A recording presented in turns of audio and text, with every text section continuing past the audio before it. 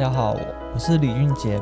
我要介绍的书名是《The Shell》，作者是 Chen Chang，配乐是李俊杰。我的主角是小熊。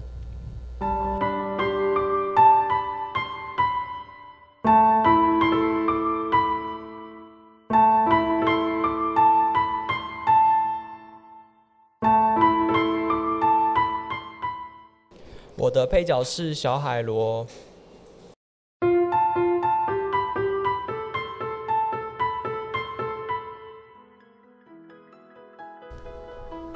某个冬天，在覆盖着白雪的海岸上，出现了两对脚印，两只熊正走着。妈咪，你看，是紫色贝壳。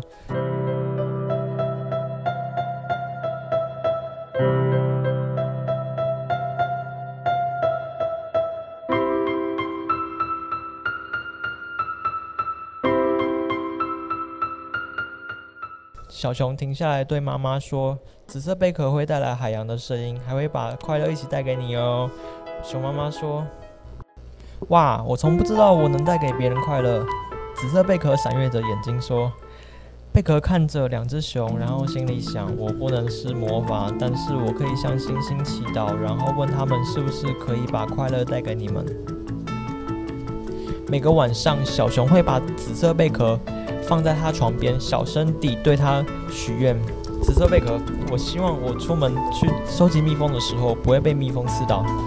紫色贝壳，我希望我能长得比妈咪高。”贝壳告诉星星关于小熊所有的愿望：“星星啊，星星，希望你让蜜蜂们都睡着，不要让他们听到小熊的脚步声。我希望鱼儿们。”都能够长得又大又肥，这样小熊就能长得又高又壮。很幸运的，这些愿望都实现了。直到有一天，魔法贝壳，明天妈妈要去一个很危险的地方捕鱼，我希望它可以平安地回来。小熊抱着紫色贝壳，小声地许许愿。但一天过一天，熊熊等妈咪回来，五天十天都过去了，妈咪还是没有回家。然后小熊明白，或许妈咪再也不会回来了。你说谎，紫色贝壳根本不会带来快乐。我要我妈妈。小熊哭着说。说完，小熊生气的把贝壳丢到远远的。对不起，我只是个贝壳，但我真的希望可以带给你快乐。贝壳小声地说。然后他就摔到很深很深的山谷中，消失不见。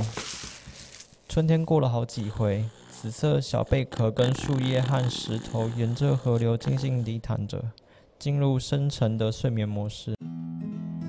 每个夜晚，在他的梦中，贝壳向星星祈祷：“我希望小熊能健康平安地长大。”有一天，贝壳醒来，然后想着：“我想知道小熊过得怎么样。”或许小熊已经忘记我了。